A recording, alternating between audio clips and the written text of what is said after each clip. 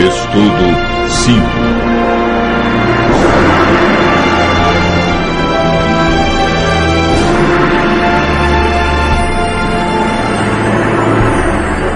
Fé, arrependimento e confissão. Certo dia, um sacerdote cristão visitou um hospital psiquiátrico na Inglaterra. Enquanto andava pelos corredores e aposentos, observando o lamentável desequilíbrio mental de seus pacientes, ouviu do diretor da instituição que o acompanhava. Ah, se metade dessas pessoas pudesse crer no perdão, elas poderiam ser mandadas de volta para casa. De fato, muitos males emocionais, espirituais e até físicos têm origem no sentimento de culpa.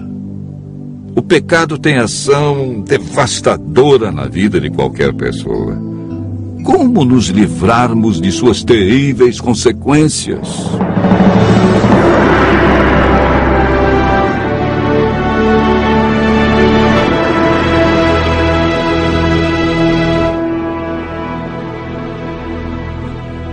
Estudo de hoje apresenta três assuntos de vital importância para o crescimento e amadurecimento cristão: fé, arrependimento e confissão.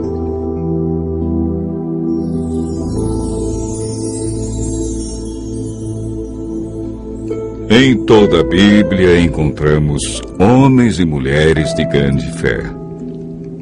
O Novo Testamento fala mais sobre fé do que sobre qualquer outra virtude, com 483 referências sobre a fé. Foi o próprio Cristo que apontou a fé como única esperança para os aleijados, cegos e quebrantados de espírito.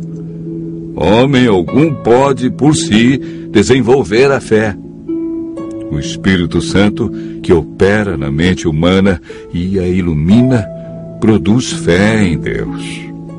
A fé é um dom que Deus dá a todos.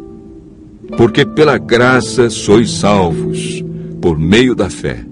E isto não vem de vós, é dom de Deus. Efésios capítulo 2, verso 8. Quando nos convertemos, mediante o estudo da Bíblia, passamos a desenvolver confiança em Deus. A fé é importante, pois agrada a Deus e nos justifica. Paulo afirma em Romanos, capítulo 5, verso 1: Justificados, pois, mediante a fé, temos paz com Deus. Hebreus 11, verso 6 diz: Sem fé é impossível agradar a Deus, pois é necessário que aquele que se aproxima de Deus creia que ele existe e é galardoador daqueles que o buscam. A fé nos ajuda a vencer as dificuldades neste mundo, e o resultado de exercer a fé será a nossa salvação.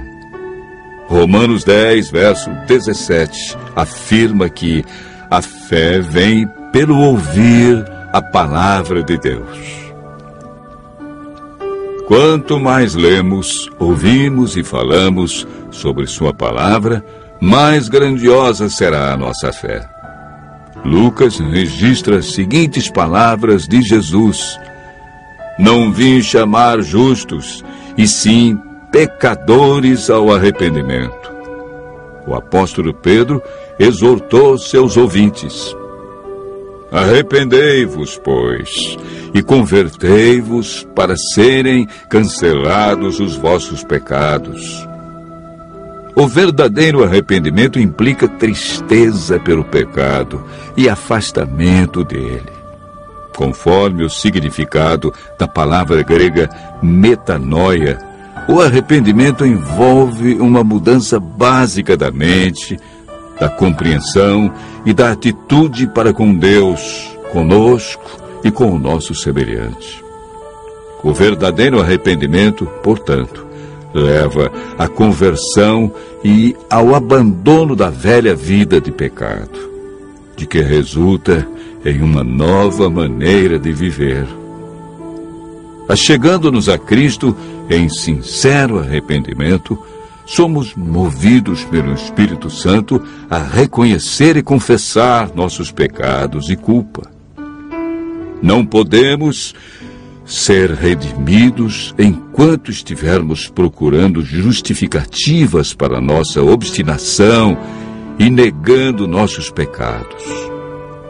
O sábio Salomão declara: O que encobre as suas transgressões jamais prosperará, mas o que as confessa e deixa alcançará misericórdia.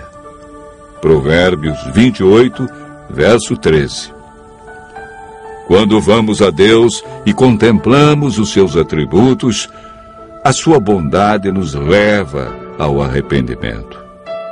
Ao confessarmos os nossos pecados e ao estendermos as mãos para aceitar a Jesus Cristo como nosso único Salvador e Senhor, somos confrontados com uma das promessas mais tranquilizadoras da Bíblia.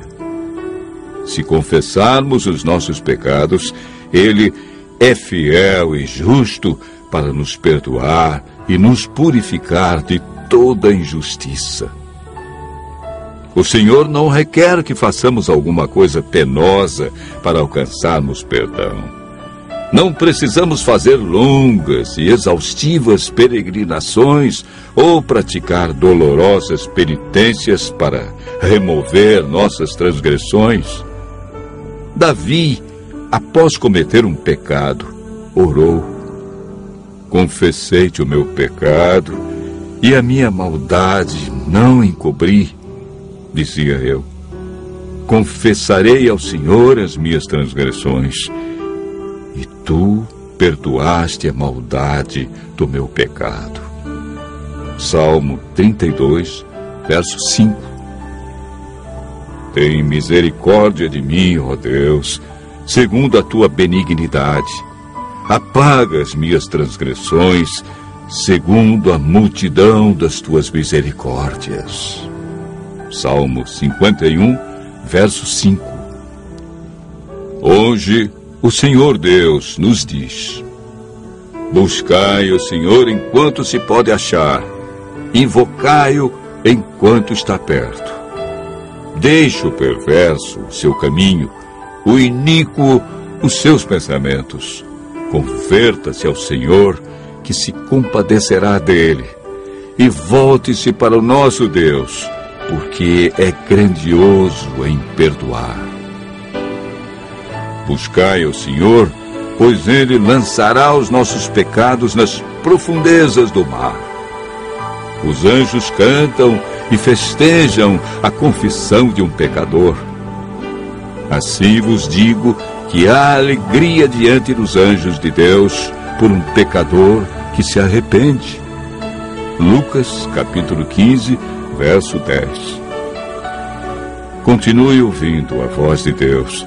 Assim poderemos experimentar o arrependimento e a confissão e desenvolvermos a cada dia uma fé que agrada a Deus.